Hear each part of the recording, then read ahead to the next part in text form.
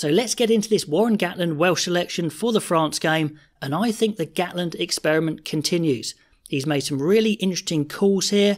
Are they tactical, or are they for a different reason, or maybe for the future? And I think more the latter. They've changed Dafydd Jenkins, the young captain, the second row. He goes to blindside, and I do get that he adds physicality, an extra line out option maybe against a powerful French pack, but is he the most natural blindside? I don't think so. He's probably not the most naturally agile or quick, and young second rows, they can kind of get away with it, but I think there might be better options there. Or is it more he wants to keep the captain on the pitch and he knows that Beard and Will Rowlands are the best second rows? I think maybe it's a bit more that. I probably would have liked to see tactically, if he wants to beef up the pack, maybe moving Aaron Wainwright to six. Mackenzie Martin could play eight, maybe. That might be preferred, but I think he's trying to keep that leadership on the pitch, not trying to drop his captain. But you let me know if you think it's just more tactical and that is the best team to face Ireland.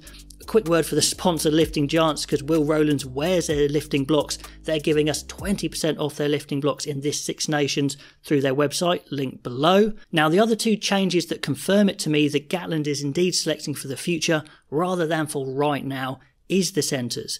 Now, Tompkins and North have been dropped, if you want to call it that, but they are their best centres. I don't think there's a doubt about that. So why drop both of them? Well, he wants to get Joe Roberts some game time, who could well be the future in the centre for Wales.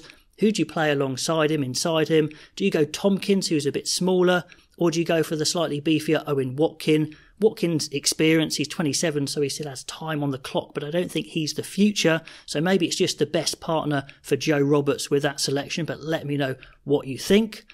Other alterations, I don't think make the team stronger necessarily. No, it looks like it's a slight rotation, really. I can feel the comment section exploding actually for the hooker Ryan Elias starting over Elliot Dee because many of you don't rate Elias. You're worried about his line out throwing in particular. So I don't think it's really on performance, although you could argue he's slightly beefier for the scrum, maybe. I guess against France that could help. And then the other change, Kieran Hardy drops out, and if he's fit, that doesn't seem quite right either because he had a really good injection of pace off the bench last week, so or the week before, so that doesn't really make a lot of sense. So the more bulky Elias, yeah, I kind of get it, but I don't think it's on performance either. Now, I think the really unlucky player in this selection is Mason Grady. Gatland's been trying lots of new players, but he once again sits on the bench. Surely a start on the wing is on the cards for him, for Adams or Dyer. And I think Gatland, from what he said, has hinted these changes are more that players deserve an opportunity rather than selecting the strongest team. He's talked about them staying in the fight, having good line speed defensively, keeping our discipline.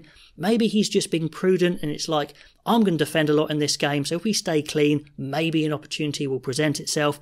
France haven't been great. Their discipline could disintegrate. Maybe that's what he's playing for. Let me know what you think. Is this a positive selection or is he just selecting for the future? In the starting team, we're looking forward to Cameron Winnett play. His counter attack has been brilliant. He's got the skills, probably just needs a couple of years physical development to get to his peak. On the bench, we've got two back rows there, Mann and Mackenzie Martin, because of course Jenkins can go in the second row. So plenty of pace to come on there. Martin looks a real beast of an athlete. And like I said, Mason Grady once again twiddling his thumbs, waiting for an opportunity which everyone else seems to be getting. So let me know what you think of that selection. Is he selecting for the future, as I think? Is he being pragmatic and just holding on in this game, staying in the fight, seeing what happens? Could he be more positive? Love to know your thoughts all the comments below, and I'll catch you next time.